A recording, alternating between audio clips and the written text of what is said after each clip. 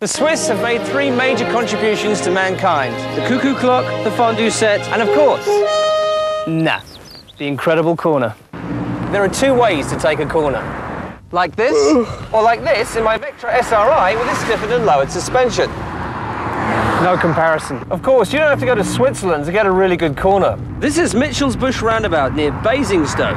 Brilliant. The Vauxhall Vectra SRI for the corners of the earth. Yep, I'd agree with that.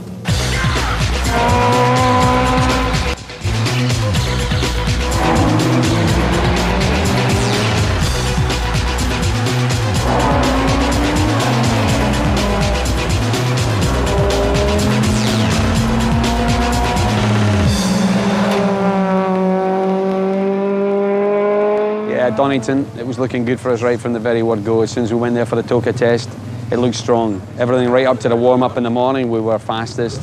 The whole weekend was looking good. It's a track I enjoy, and it's a track Vauxhall's always done well on.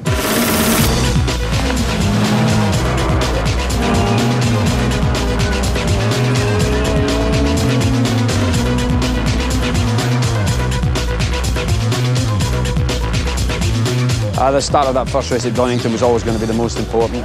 I had to make sure that I got right through between Rydell and Thompson at the beginning.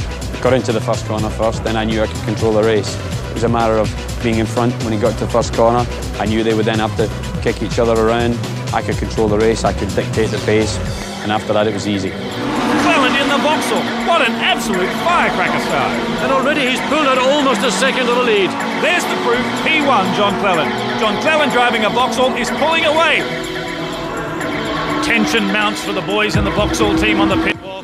John Cleland in the lead. Looks to me as though he's opening up that gap, but there are still a couple of laps to go, and he's got James Thompson in the Honda right behind him. As far as the uh, Vectra is concerned this year, we've obviously made massive strides.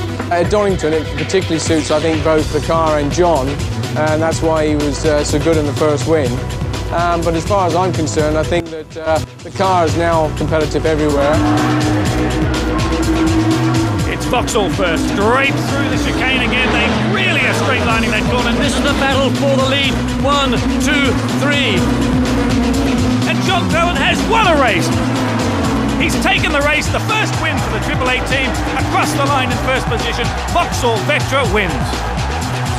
Yeah, winning that first race at Donington was great. It was nice to win a race again after 18 months. Remember how to open the bottle of champagne. Smell of success. Winning races again with Vectra. It was good, it was a great feeling. And uh, it just goes from strength to strength.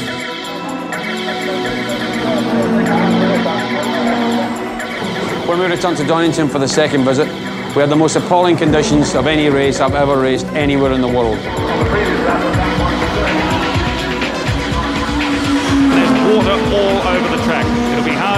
To build up any sort of a dry line. Look at the spray every week. John Cleland now piling on the pressure. And he's really, really coming very close to Mansell now. And he's overrun. Mansell overshot the mark. Cleland just sat back there and said, thank you very much, and I'll go straight through. Warwick is being shoved. That's Radisich and Warwick. There he is, Nigel Mansell, right behind him, as you say, an old Formula One dicer of his, Derek Warwick in the Vauxhall.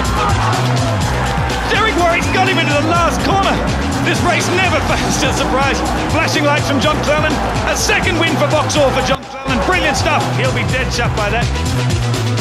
You can see at the end of the race that we were kind of happy, and uh, I would have never lived it down had Mansell beaten me. So uh, for me, it was a particular uh, pleasure, shall we say.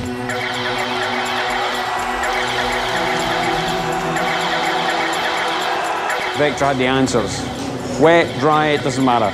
We won the race. In the most appalling conditions, Vectra is now a winner.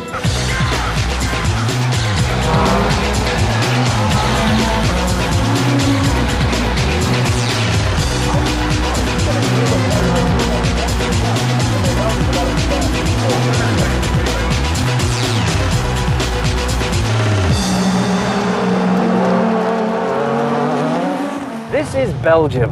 The roads are straight, the rivers are straight, even the corners are straight. Morning. Do you know what this is?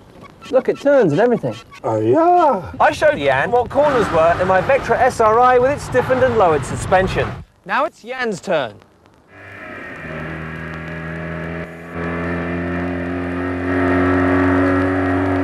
The Vauxhall Vectra SRI for the corners of the earth.